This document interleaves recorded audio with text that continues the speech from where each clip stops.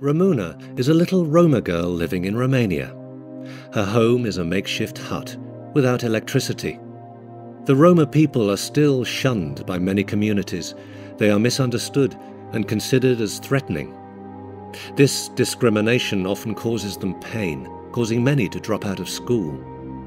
The Romanian Relief Organization of the Order of Malta is working with Ramuna by helping her to access after school support with her education and mentoring to build her self esteem. She learns handicrafts, vaulting, and even horse riding with other children. Ramuna is just one of the many children that the Romanian Relief Organization helps through its Education is for All after school project in Romania. It is just one of the many organizations in the Order of Malta's network that reach out to forgotten, marginalized communities around the world. From providing interest free loans to the persecuted in Palestine, to medical assistance to remote communities in Colombia, the Order works with the most needy. An instrument of peace, always operating without consideration to race, origin, or religion, just as it has for over 900 years. The marginalized are just one of the many communities that the Order of Malta helps. The elderly are another neglected group. In the twilight of their lives, the elderly should be treated with kindness and respect.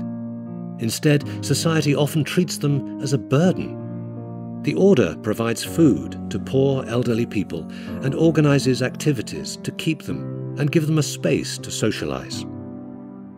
In the minds of many, leprosy is relegated to biblical times, yet thousands still suffer. Diseases such as leprosy and sleeping sickness are forgotten the Order of Malta has many bodies curing and caring for those afflicted with forgotten diseases. Newborn infants in developing countries are 10 times more likely to die than in developed countries, and mothers are also more at risk.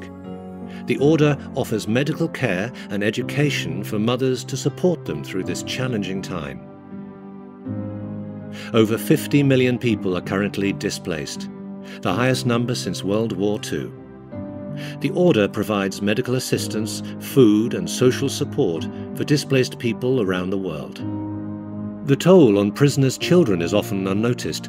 They become invisible victims, receiving a sentence of their own whilst their parents are in jail. The Order works with these vulnerable, forgotten children, providing mentoring and emotional support. The homeless are another group who are frequently ignored, even in the richest of cities. The Order provides hot meals and friendship for the forgotten homeless, treating each of them with dignity and respect. One in ten children in the world has a disability. Their care often focuses on their medical needs, but their social needs for love, friendship, and laughter are often forgotten. The Order of Malta puts these more human needs into every one of its disability programs. These works illustrate the reach and impact of a global organization that cares for the forgotten wherever they may be. Going where others won't go, doing what others won't do, always the last to leave. The Global Fund for Forgotten People was created to express the Order of Malta's works and to give voice to the forgotten.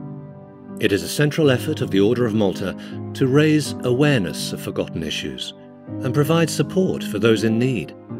It awards grants to over 40 Order of Malta programs a year and has raised and donated millions of dollars to support the forgotten. Each of us in the Order is reminded of Pope Francis's call to service every day through our work. Let us never forget that authentic power is service. We must open our arms to protect all of God's people and embrace with tender affection the whole of humanity, especially the poorest, the weakest, the least important. Join us in humble service of the forgotten.